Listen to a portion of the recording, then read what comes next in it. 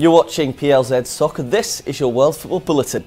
The shortlist for the Ballon d'Or has been announced with Virgil van Dijk, Cristiano Ronaldo and Lionel Messi heading up the 30-man shortlist. Seven Liverpool players have been included, as well as superstars from across Europe, including Antoine Griezmann, Eden Hazard, Kylian Mbappe and Robert Lewandowski. There were several big omissions, however, such as Harry Kane, Paul Pogba and Neymar.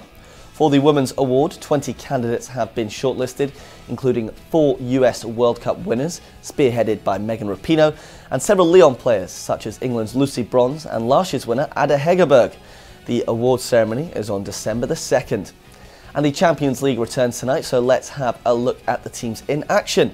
In Group A, Paris Saint-Germain visit Bruges looking to keep up their 100% record, whilst Real Madrid are also away against Galatasaray. In Group B, Bayern Munich and Tottenham Hotspur are both playing with the aim of reaching the knockout phase. Group C sees Shakhtar Donetsk host Dinamo Zagreb and Manchester City play tournament new boys Atalanta. And finally, Atletico Madrid will look to win their first match when they play Bayer Leverkusen, whilst Juventus remain the only unbeaten team in Europe's top five leagues. They play at home against Lokomotiv Moscow. That's all from me today. Thanks for watching and remember to see other bulletins. You can find us on YouTube, Facebook and Twitter as well as downloading our app for all of the latest.